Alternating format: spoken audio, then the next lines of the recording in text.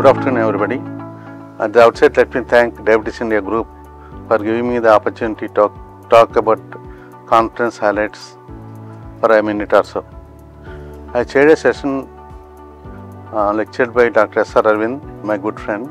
He talked about glucocentric treatment and the three eras, uh, starting from the uh, sulfonylureas, previous sulfonylureas, lifestyle modification, two latest developments as um, uh, drugs, uh, what the new drugs are coming, how to go along with the uh, research and all these things. But leave the only, he told that not concentrate on only glucotoxicity, glucoconcentric.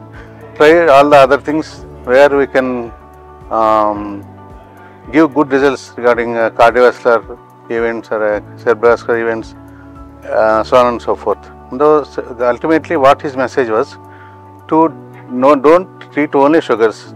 Look, look for the others also, other complications, screening for the complications, targeting for the complications, so on and so forth. And again, Christian Shasha, they gave a wonderful talk regarding uh, sleep. Amazing. Uh, uh, this is one of the best speeches I ever heard in recent years.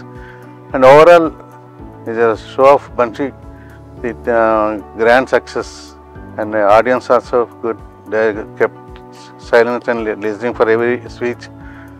All the orations are very nice. Thank you so very much.